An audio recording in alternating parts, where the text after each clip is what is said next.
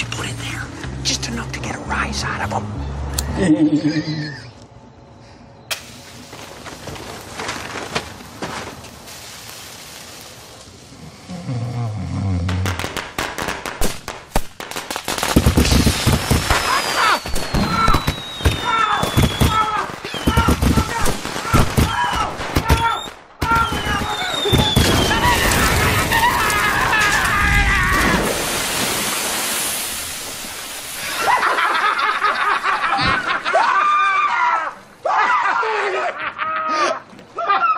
Wait, Lloyd. I think he might be hurt.